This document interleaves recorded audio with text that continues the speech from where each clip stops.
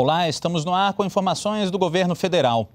A presidenta Dilma Rousseff participa daqui a pouco da sessão de abertura do ano legislativo de 2016. A solenidade é no plenário da Câmara dos Deputados e de lá fala ao vivo o repórter Ricardo Carandina.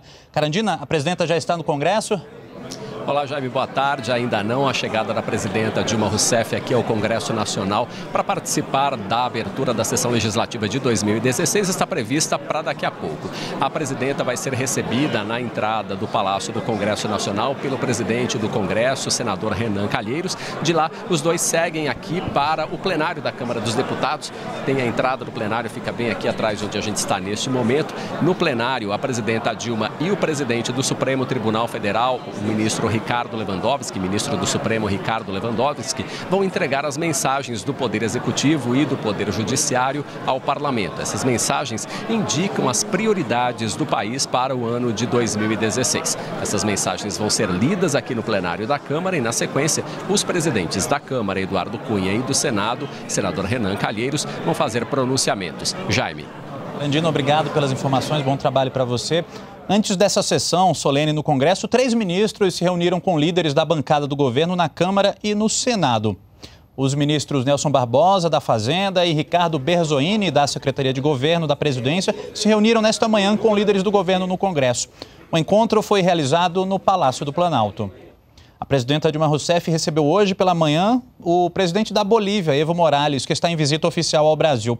Após reunião de trabalho, a presidenta falou sobre a integração energética entre os dois países. Quero destacar aqui a importância da integração energética. O Brasil estimula e apoia o objetivo anunciado pelo presidente Evo Morales de transformar a Bolívia em centro energético regional.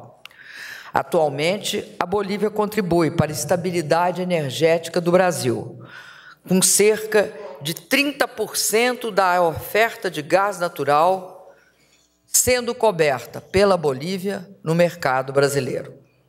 Mediante novos investimentos em hidroeletricidade e em hidrocarbonetos, nosso vizinho boliviano nosso vizinho da Bolívia ampliará seu potencial de produção e exportação de energia elétrica. O combate ao Zika vírus também fez parte da agenda da reunião. A presidenta Dilma Rousseff lembrou que evitar a proliferação da doença é uma tarefa coletiva. Abordamos também o desafio do vírus Zika e a necessidade de trabalharmos juntos para combater o mosquito, evitando sua proliferação e desenvolvendo vacinas.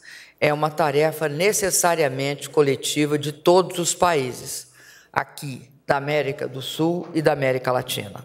E a Secretaria de Portos da Presidência da República entrou também na mobilização nacional de combate ao Aedes aegypti.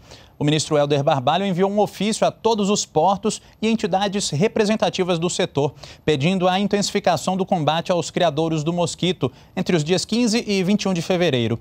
Para marcar o início dos trabalhos, o ministro vai participar no dia 15, no Porto do Rio de Janeiro, das ações de caça ao mosquito e prevenção das doenças transmitidas por ele: dengue, chikungunya e zika.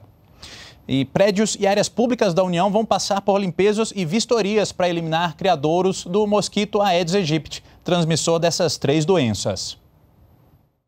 Foi publicado hoje no Diário Oficial da União um decreto da presidenta Dilma Rousseff com medidas de prevenção e eliminação de focos do mosquito Aedes aegypti em prédios e áreas públicas do governo federal.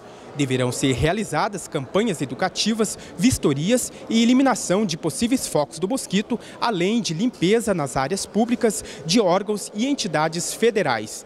Ontem à noite, a presidenta Dilma se reuniu com ministros e pediu empenho na eliminação do mosquito. De Brasília, Ney Pereira. O Ministério da Saúde divulgou uma nota em que aprova a decisão da Organização Mundial da Saúde de declarar os casos de Zika vírus e microcefalia emergência de saúde pública internacional. Segundo o Ministério, esse reconhecimento deve facilitar a busca de parcerias em todo o mundo, reunindo esforços de governos e especialistas para enfrentar a situação o Ministério da Saúde já havia sinalizado à OMS sobre a possibilidade de um evento de importância internacional e, de, e desde então se colocou à disposição da organização para esclarecimentos e fornecimentos de dados técnicos. As regras para a liberação de recursos para micro, pequenas, médias e grandes empresas vão ser divulgadas logo mais às três e meia da tarde pelo BNDES. As informações ao vivo do Rio de Janeiro com a repórter Carolina Rocha. Boa tarde, Carolina. Boa tarde, Jaime. Boa tarde a todos. Isso mesmo, os detalhes vão ser apresentados em uma coletiva de imprensa pelo presidente do BNDES, Luciano Coutinho, aqui na sede do banco, que fica no centro do Rio de Janeiro. As medidas fazem parte de um pacote anunciado pelo ministro da Fazenda, Nelson Barbosa, na última semana. São 83 bilhões de reais vindos de diversas fontes de crédito destinados para trabalhadores, micro, pequenas, médias e grandes empresas de setores da infraestrutura, construção civil e setor rural rural. A ideia é dar fôlego à economia, estimular a criação de novos empregos com carteira assinada, gerar demanda e consumo. No âmbito do BNDES foram anunciadas três linhas específicas. A primeira, 5 bilhões de reais para empresas de todo tipo de tamanho formarem capital de giro. A segunda são 4 bilhões de reais para empresas exportadoras, para ajudá-las a, a exportar, a embarcar os produtos para outros países. E a última ação do BNDES é para o refinanciamento de dívidas de de empresas com o banco que contraíram dívidas para comprar equipamentos e máquinas. Para isso, estão destinados 15 bilhões de reais. Carolina, obrigado pelas informações. Nós voltamos a qualquer momento com outras informações ao vivo das atividades do Poder Executivo. Continue com a gente aqui na NBR, a TV do Governo Federal.